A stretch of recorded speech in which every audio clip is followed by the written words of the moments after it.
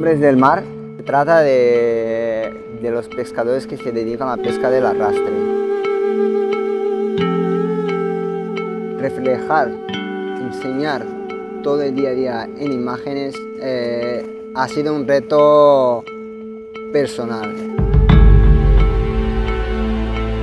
Un trabajo muy duro, que estás entre 10 y 12 horas diarias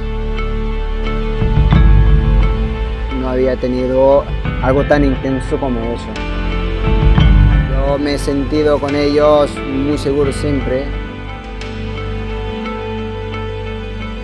Os invito a mi exposición Hombres del Mar, que se inaugura el 8 de marzo a las 18.30 en la Escuela Grisart Barcelona.